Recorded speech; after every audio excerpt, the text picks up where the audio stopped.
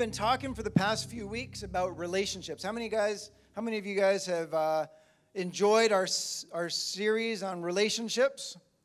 Yeah, we talked about we talked about the importance of relationships. We talked about what relationships are. Last week we talked about how to build, care for, and maintain our relationships. And I just want to let you guys know that we're going to continue in this series for a little bit. Originally, we started talking about relationships at the beginning of September, and we were like, okay, maybe we're going to uh, go through the month of September. We're going to extend it a few more weeks because we feel that God is doing something in our church, in our congregation, and building relationships is important.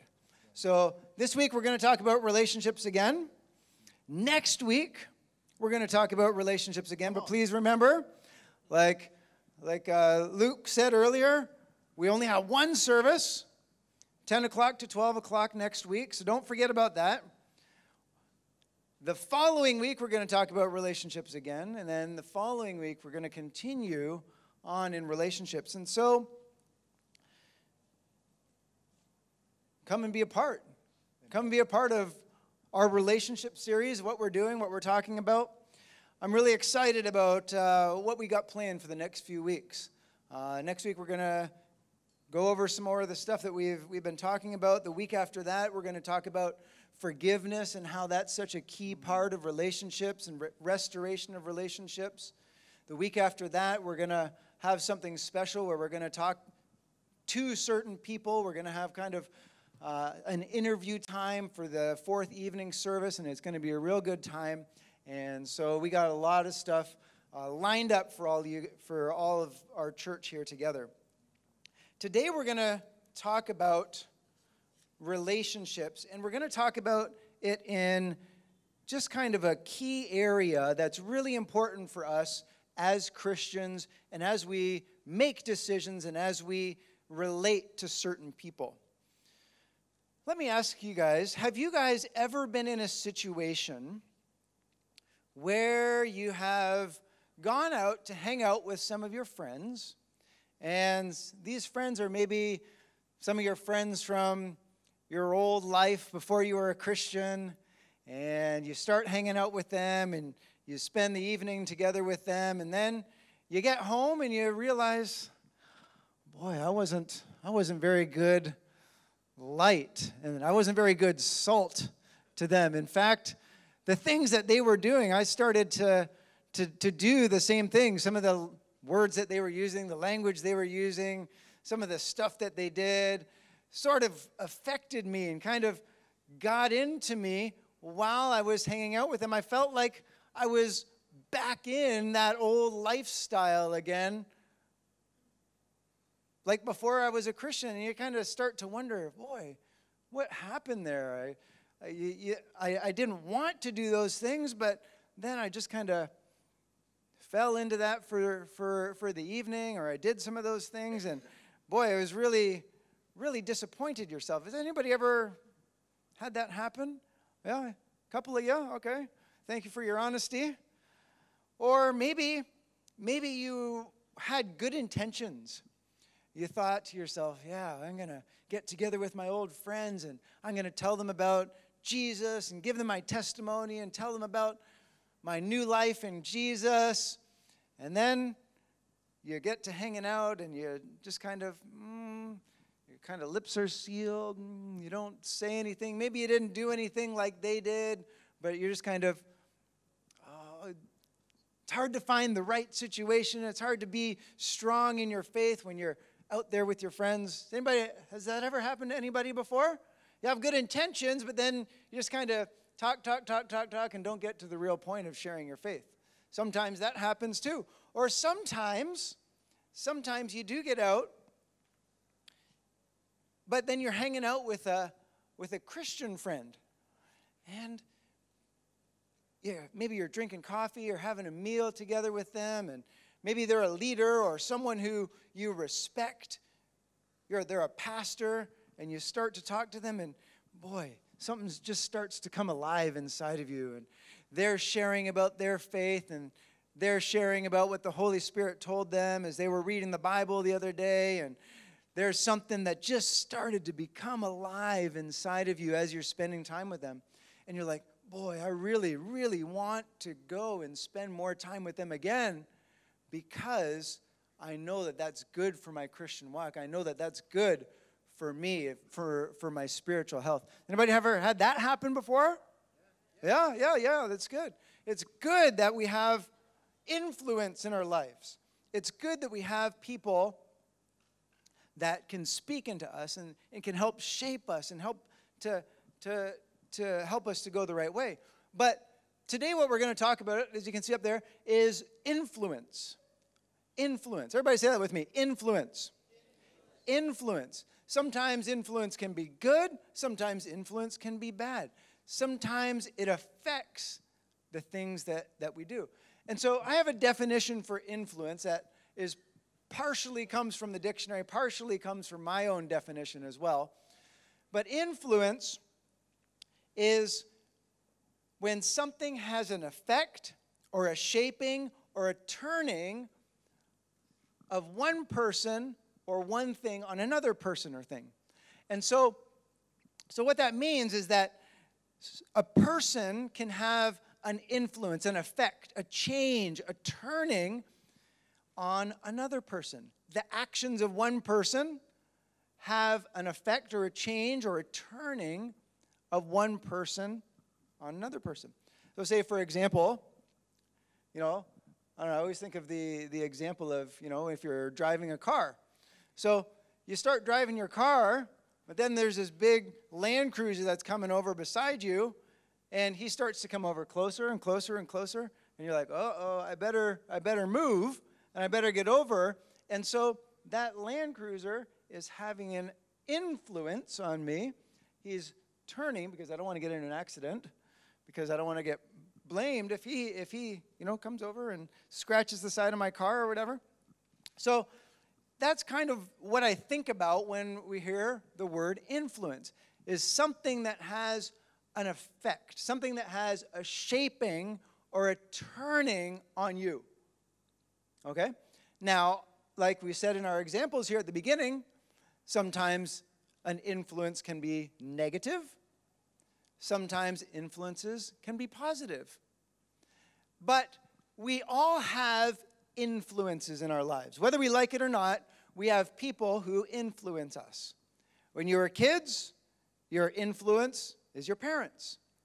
Now, sometimes, most of the time, a parent's influence on the kids is a good influence. Sometimes it can be bad, but sometimes it can be good. And a lot of times, influence comes from top down, but then later on with our friends, influences can be peer to peer as well. So, in a relationship, there is a flow of influence. So, Sometimes it can be a parent to a child, it can be a boss to an employee, it can be a teacher to a student. Or it can be a boss, I say, yeah, boss to employee, but also sometimes it can be peer to peer or equal to equal, coworker to coworker, friend to friend. And as Christians, it's important that we evaluate the influences that are in our lives. We talk about relationships, and relationships are so very, very important in our lives because the relationships that we have affect who we become. I heard somebody say once, Show me your friends, and I will show you your future. I will show you what you'll become based on the people that you are with today.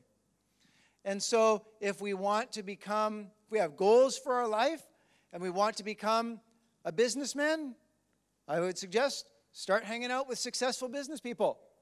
Right? You understand that? It just kind of makes sense so that they can start to have an influence on you. Don't just, you know, sit on the bench in a park somewhere and, okay, yeah, I want to be a businessman. You don't do anything about it. Don't hang out with any successful business people. Let people have an influence on your life. So we need to evaluate the influences that we have. Okay? So it can be coworker to coworker, friend to friend, classmate to classmate. influence can also be something that helps us or harms us. A parent can have a positive influence or a negative influence. I saw uh, when I was a kid, there was a, a commercial on the TV, and it was a non smoking ad. I don't know, some of you guys may have seen it. It was a while ago, maybe not. But in the ad, the dad is telling the kid, "Don't smoke, don't smoke, don't smoke." But then the kid, then the then the uh, dad lights a cigarette, and he's telling the kids with his words, "Don't do this, don't do this." But then he's smoking a cigarette. What's the kid going to do? He's not going to follow what he says, but he, he's going to follow what he sees because the dad has an influence, but it's a negative influence. And it can be usually be a positive influence. Sometimes it can be a positive influence too, where, okay, the parents bring their kids to church. I was talking to uh, a young couple today. They were here at the second service, and they were they're newly married. They have a young kid. Uh, the kid was, I think, probably three years old, and uh, the kid was, you know, kind of running around a little bit wild like kids do, and uh, we were talking about the kid, and uh, they said to me, they said, yeah, our kid is really wild. He's just running around, and he was at the back here crawling under the chairs and all that sort of stuff. And, uh, you know, as parents are, you know, sometimes you get worried about what your kids do and kind of worried about, you know, are they going to turn out okay? They got to behave. They got to do this. They got to do that. But I told them, I said, I said, you know, when I was a kid, that was me too. I was crawling under the chairs, running around in church, falling asleep in the back and, uh, you know, just, but I said to them, I said, it is so good that you bring your kids to church and the, just they get used to being in God's house, being in the presence of God. And they, they, they were they were like, really, that was you? Yeah. I said, yeah, I would always do stuff like that, playing tag at the back. And, and the things that we do and the inf- are the influences that we have. And the parents also have good influences on their kids as well. So we can make sure that we are a good influence. What I want to talk about today is one of the most difficult influences that we can have, and one of the most difficult things to navigate in terms of influences when, is when we talk about a friend to friend influence. Like we said at the beginning, Sometimes we have friends who influence us the wrong way. Maybe we're out hanging out with them and we start to talk like them and think like them, and the words that they say influence us and they change our hearts a little bit. What do we do in a situation like that? Do we just say, oh, I'm not going to hang out with them anymore? I'm not going to see them? Or do we just try to hang out with them to be a good Christian witness, but you're not really, wit, you know, being a good witness for them? You're not or do you just break off the. What do you do? What do you do in a situation like that where it's difficult? Or maybe you're wondering, how can I be a better influence, a better positive influence? Let's talk about the differences between positive and negative influences for a bit, and then we'll start to talk about what we can do in, in, in, in these situations. A positive influence is what we can do or what someone does to help push somebody or turn somebody or influence somebody to become closer to Jesus. Someone who, who influences someone positively is someone who, through their words, through their actions, through their example, help people and encourage people to get closer to Jesus. Right? That's a positive influence. And so everything that we do, the choices that we make, the people that we hang out with, they can turn us one way or another if we're not careful. And it's important for us to evaluate what those influences are. So when we when we look at a positive influence, it is someone who's helping another person move closer to the things of God. For example, maybe somebody is you know, having a hard time with hope. They're feeling hopeless in their life. I don't know what to do. I don't know where to turn. I don't have any hope for the future. A positive influence will say, No, look, this is the Word of God. God says Maybe they use that verse that we used a little bit earlier, Hebrews 12 2. Jesus is the author and finisher of our faith. Bring them hope. You might be down and discouraged right now, but God's not done with you yet. He hasn't finished the chapter on your life yet. There's more to be written. And so you can start to bring hope to people. That's a positive influence. When someone is down or discouraged, a positive influence will remind them about the things of God and speak hope into their situation. A positive influence is also something that is active. It's not just, I'm going to be there and be and act this way, but it's someone who is purposely trying to have a good influence on somebody. It's not something that, it, that just kind of happens by accident, though sometimes people will watch our lives and they will, they will see kind of what happens in our life. But when you're having an influence, you're making a decision to say, look, okay, I'm going to have a positive influence on this situation. It is an effect and it is a shaping. It's a conscious decision to act, it's a conscious decision to move, to help this person. As positive influences, we are not trying to get people to look at us more highly. Okay, that's not the point. The point is, is we're getting, we're pointing people to Jesus. Amen? We want people to get a little bit closer to Jesus, to, to say, okay, look, Jesus is our hope. Not, not this person, not that person, not me. No, it's not about me. It's about us pointing the way to Jesus. And so it's a shaping and it's turning people to Jesus. If someone is depressed, we speak hope. If someone is living in darkness, we speak the light. If someone is living in a lie, we speak the truth. We can't just be with somebody and hope that that is enough. We must make conscious decisions to have a positive influence on people. If you are a Christian and you're having a positive influence on someone who doesn't know Christ yet, keep doing that.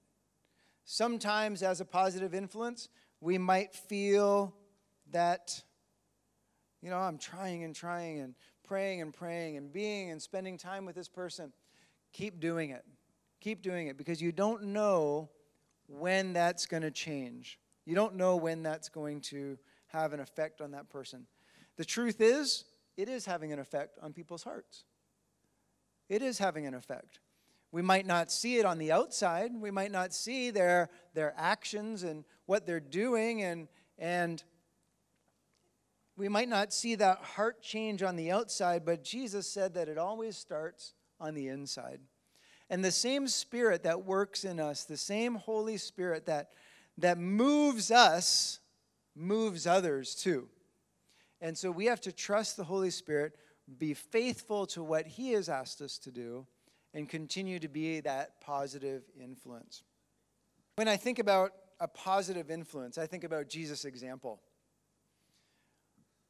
I want let me read in uh, Luke chapter 5, verses 27 to 32.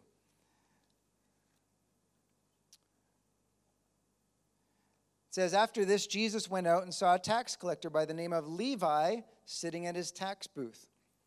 Okay, Levi is Matthew. And he said to Je- Jesus said to him, Follow me. And Jesus said, Jesus, oh, sorry. Jesus said to him, Follow me. Levi got up, left everything, and followed him. Then Levi held a great banquet for Jesus at his house, and a large crowd of tax collectors and others were eating with them. But the Pharisees and the teachers of the law who belonged to their sect complained to his disciples, Why do you eat and drink with the tax collectors and sinners? Jesus answered them, It is not the healthy who need a doctor, but the sick. I have not come to call the righteous, but sinners to repentance. So here was Levi, a tax collector, a Jew working for the Romans, collecting taxes. Now, most people don't like paying taxes. Generally, we don't. But when someone comes to you who's your own, from your own country, from your own ethnic group, and they're working for another country and they got to collect taxes from us for that country, it kind of feels like they're betraying us. And that's exactly how the Jews felt about tax collectors. Here's a Jew collecting taxes for the Romans from other Jews. And usually, tax collectors were dishonest and they would cheat and take extra taxes. They had to take a certain amount for the Romans, but then they also took some to pad their pockets too. And so, no one really liked the tax collectors. And so, Jesus called Levi, who was collecting taxes, he said, Come on, follow me. The amazing thing is, Levi got up and just left everything. He left it all. He said, All right, I'm going to follow Jesus. And then they all went to Levi's house. They had a big party with a bunch of other tax collectors because, let's face it, that's probably all that uh, Levi knew, his other tax collectors. He didn't have any other friends besides those guys. And then everybody else who saw what Jesus was doing, they criticized Jesus. They despised Jesus. Ah, look at Jesus. He's no good. He's ha- hanging out with sinners and tax collectors and that. But Jesus was having a positive influence. Jesus was having a positive influence on every single one of those tax collectors. Look at the story of Zacchaeus, another tax collector. Okay? That same day that Jesus met Zacchaeus, Zacchaeus sold everything that he had to pay back all of the extra stuff that he took from other Jews. He paid it all back. He said, I'm done. I'm done being a tax collector. I'm going to be, I'm going to walk righteously. And same with Levi, same with the disciples, same with, same with the woman at the well. Okay, so here was another woman who, here was a woman who lived an immoral life, was shunned by her, her whole town, her whole, uh, her, her, her own village and, and everything. She was ashamed. She was full of sin and shame. But Jesus said to her, All right, come on. He said, I'm going to do a work in, in, the, in this woman's life. And Jesus had a positive influence and gave her the living water, which is the Spirit of God, the hope. And this woman was the first person that Jesus revealed himself to as the Messiah and she became transformed. Jesus had a good influence on her. All of the disciples, they were influenced by Jesus in a positive way. There is also negative influence. This is when someone influences another person to turn or to move away from the things of God and more towards the things of this world. They encourage selfishness, they encourage pride, they encourage indulging in sin and those sorts of things. These people have a negative influence. Um, in the Bible, there's a story of a, a king named Rehoboam. And he had two people, two groups of people who were influencing his life. The first one was the older guys, and they said, do this, this, and this, and this. Then there was the younger guys who said, do this, and this, and this. Rehoboam went with the younger crowd and said, I'm going to do this. And basically what it was is, is they encouraged Rehoboam to be strict, to be strong, and to raise taxes in Israel. And so he said, All right, yeah, I'll do that. That's, that's a better idea. But the, elder, the older one said, No, if you're kind to people, if you are uh, generous, you are kind, you don't work people hard, then everyone's going to love you and everyone's going to be with you. But Rehoboam weighed the two sides and he said, No, I'm going to go with the younger ones. And he did that. And that was the, the first time that the, the kingdom of Israel and Judah were divided. And so from there, we see the split of the two nations because of the influence that he listened to. Now, we've seen the negative and we've seen the positive. And in talking about relationships, it is very important that we evaluate, we stop and we evaluate who we are as a person and who those different influences in our lives are. Think about the different people around us. Is this person positive influence or is this person a negative influence? If they're positive, run to them, spend time with them. If they're helping you grow in God, great, do that more. But maybe you have some negative influences in your life. Maybe you have some people there that, well, I'm not so much of a good influence on them, but they're more of a negative influence in me than I am a positive influence to them. Jesus said we're supposed to be salt and we're supposed to be light. But if we hide our light under a bushel, what good is it? So I have a few things. Let, let me read a verse here. In 2 Corinthians 6, verses 14 to 18. All right? 2 Corinthians 6, verses 14 to 18. Here we go. It says, Do not be yoked together with unbelievers. For what do righteousness and wickedness have in common? Or what fellowship can light have with darkness? What harmony is there between Christ and Belial? What does a believer have in common with an unbeliever? What agreement is there between the temple of God and idols? For we are the temple of the living God. So, in this, Paul is talking to believers. He's talking to the, the, the church in Corinth and he's talking to believers.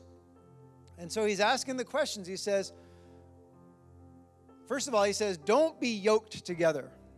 That means that's like a like when you have two cows and they have the yoke over their necks. It's this big wooden piece that connects the two of them together.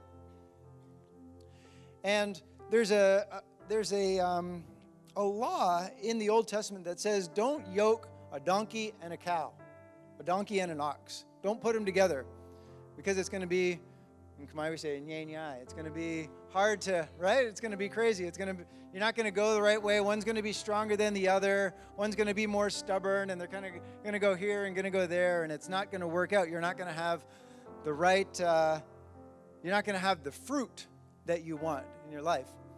So he says, don't be yoked together. So it means there's two things that are different that are connected together. So that's in the yoking. But, let, but let's go to the next slide here.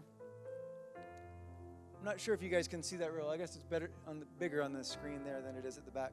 So in the first one, we see a believer and an unbeliever are yoked. We see the righteousness and wickedness have something in common. Light and darkness, well, these are all the questions. They, they, they don't have anything in common. This is what Paul is trying to say. Light and darkness can't have fellowship together. Thank you for making that bigger. That's cool. Christ and Belial can't live in harmony. The actual word there is symphony. A believer and an unbeliever can't have things in common. Temple of God and the temple of idols can't have agreement together. And so, kind of what this is saying is that as a Christian, we must be careful about who we're connected with. Uh, the one example there is with Christ and Belial can't have harmony, can't have symphony together. We have a great worship band. Okay? We have a great worship band. But what this is talking about here is the two of these things playing music together, playing a song together. can you imagine, says Christ and Belial having a symphony, having a, maybe have Jesus on the keyboard over here, and maybe the devil's on the drums. Sorry, Singly. Can you imagine we had a new rock band or a new band with Jesus and the devil playing together? They have the same music. They're playing music together. This is basically what it's saying is that it's there there's no connection between the two. They can't make beautiful music together, right? They can't. They just can't. And that's the way that we need to be careful in our own lives as well. It's not saying that we can't have friends who are non believers, but are you connected to them? Are you connected to them in you're playing the same music as them? Not necessarily the same music, but the same heart, the same words, the same spirit. Because when two people are playing music together, there's a there's a, a unity. They're following the same words, they're following the same music, they're following the same rhythm, they're following the same melody together. Okay? And we can't have that with the world.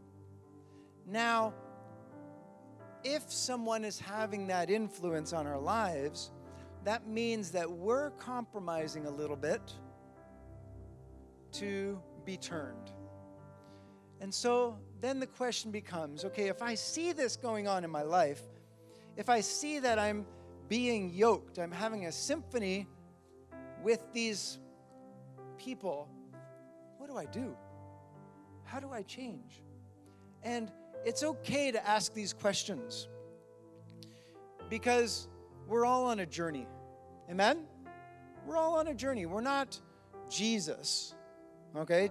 Jesus could go and he could have meals with tax collectors. They would have no influence on him whatsoever. But sometimes, sometimes we do have a bad influence in our life that we need to change a little bit. Okay? So if there is something going on in your life, if you're realizing that you do have some negative influences in your life, there's a few things that we can do. The first and the most important step is to recognize or to understand that it is a negative influence. Okay? So the first one is to understand, to recognize that it is a negative influence. This is the biggest step because it shows a spirit of humility. Honestly, it says, okay, yeah, I understand. When I hang out with this person, I just end up thinking thoughts that I shouldn't be thinking about. They talk to me like this, and I, I just feel so compromised inside of me. Okay, so that's the, the a really good first step is to understand that. And because it shows humility, it also shows a desire to live for the things of God and to live for the positive. The second thing that that we need to do is to is to reject that lifestyle in our hearts. So we recognize that it's a bad influence, but we also need to reject that way of living. There are some people that maybe you hang out with that their, their way of living influences you. So understand that, but also come to the realization and say, no, that's, that's not right. That's against the Word of God. This actually is a step of faith because you're choosing to align yourself with the Word of God rather than the things of the world or sin or the influences of other people. So, this is a step of faith saying, No, this is what the Word of God says, and I'm going to agree with the Word of God. And so, this can actually be another step of faith where you're understanding that and you say, okay, look, I'm not, I'm rejecting that way of living. I don't want to live that way because it's going to bring destruction. The Bible says this about it and that. I'm going to live this way. The next thing you need to do is you need to be honest. You need to be honest and decide if this is something that is too big for you to overcome at this season in life. And sometimes we have to make a tough decision. Sometimes we have to make a tough decision. Sometimes there's people in our lives that have a negative influence on us that we, for a season, I'm not saying for the rest of your life, but maybe for a season, you need to separate yourself from them for the sake of your walk with God. Now, sometimes this can feel like you are abandoning people you're running away from your friends, you're rejecting them. But sometimes you need to do this for your own spiritual well being. We read a verse in 2 Corinthians 6 18, 14 to 17. Later on, Jesus says in verse 17, he's, or God says later on, He says, Therefore, come out from them and be separate Therefore, come out from them and be separate. So, for a season in your life, there may be a time where you have to step away from that bad influence. And I'm giving you permission today to do that. If you feel that you need to do that, don't think of it as rejection. Don't think of it as you are abandoning people. You are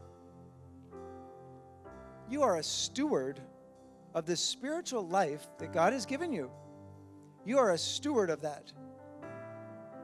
And you want to grow, you want to be a good influence, but sometimes if that influence is too much, you need to step back and separate yourself. You're not turning away from the relationship, you're not turning away from them as a person.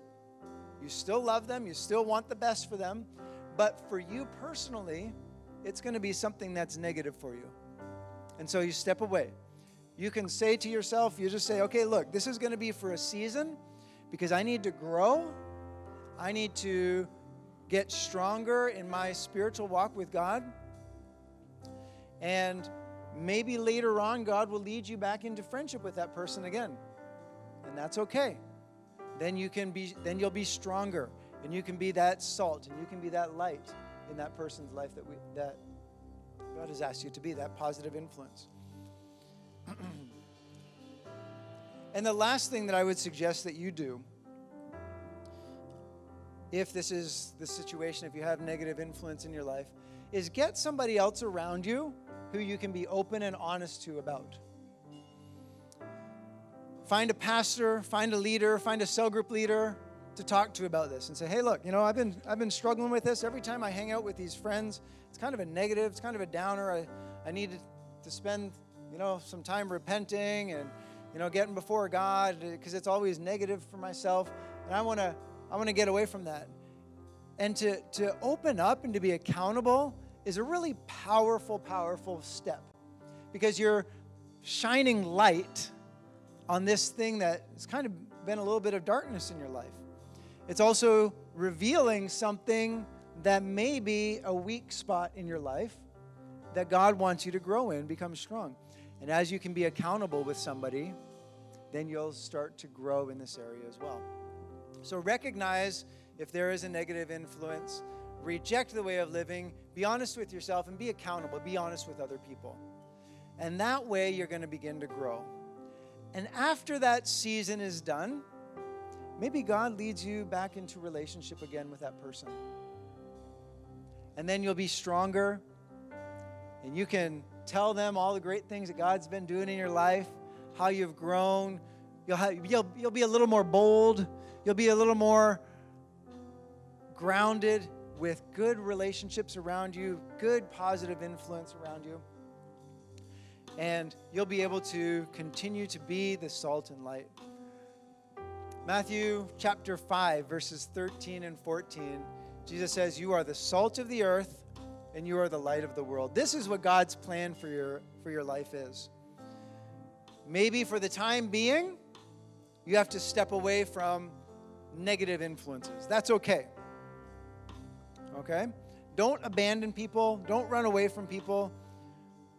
But maybe you just need to take a step back for a season, grow, and then you can step back in to that relationship. There are lots of other things that we can do as well. Be careful of the atmosphere, be careful of where we go, what we do. But in our relationships, the most important thing is let's evaluate where we are in our relationships. Is somebody pulling us? Is somebody pulling, are we pulling somebody else up or is somebody pulling us down? Let's just evaluate. Let's just be honest. We can be real, right? We have we can be real about who we are and our weaknesses. There's nobody who's perfect here. There's nobody who's perfect.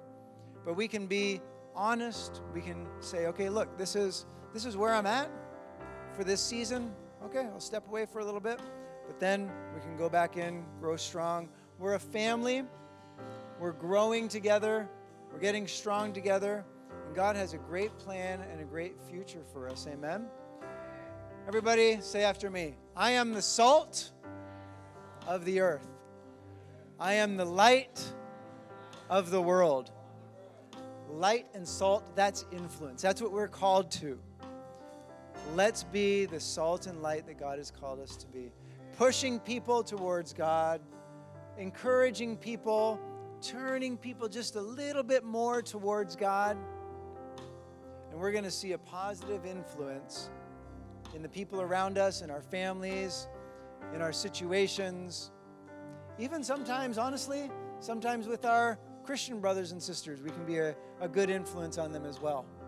We speak words of life, we speak words of faith. Amen? And let's commit to doing that. Let's commit to being people of good influence. It's not that you're denying everything, but you're saying, no, this is our God. This is who we serve. Reminding people of our God. Amen? Let's speak life, speak words of life into every situation that we're in. Amen? All right, let me pray for all of us. Hallelujah. Dear Heavenly Father, we thank you for every person who has influenced our lives. The truth is, we are all here today because others have influenced our lives. Other people have speak, spoken to us, they've influenced us, their actions, their words, they've all been an influence on our lives. And we thank you and we praise you for the work that you have done in us through other people. And God, today I pray also that you would help us to evaluate all of our friendships, honestly evaluate all of our friendships, that we would honestly say, okay, is this person being a good influence or are they a bad influence in my life? And I just pray that you would speak to us right now through your Holy Spirit. Speak to us. If there's any of us here that need to make a change or make an adjustment in our lives for a season, Help us to be faithful to that because you have called us to be good stewards of this life that we live. So I pray you would help us to evaluate that. Also, God, we want to commit and dedicate our lives to you today to be positive influences to those around us, to speak life, to speak transformation, to have a positive influence on the world around us because that's how the world is being shaped and the world is being changed, oh God. Lord, we thank you for your faithfulness to us. And I pray that you would help us to be faithful to you. Lord God, this day we give our lives to you. Help us to be more like you, positive influence to those around us. In the name of Jesus, we pray. Amen. Amen. Amen you guys, if there's anybody here who needs prayer, we have our prayer team up here. It's going to come to the front in just a minute. If you guys want to talk to somebody or pray with somebody, uh, we have our leaders up front here. We can get some of our leaders up front. That'd be cool. Thank you. And uh, yeah, we we're here with you guys. We're a family. There's things that you're going through, struggles that you're facing you need some help or prayer for people who are influencing your life, let's let's do it. Let's agree together in prayer. Or if you have any other prayer needs, we're here for you guys today. And if not, God bless you. Have a good afternoon. Thank you so much for spending time in the presence of God with us today. We love you, and we'll see you next week at 10 o'clock.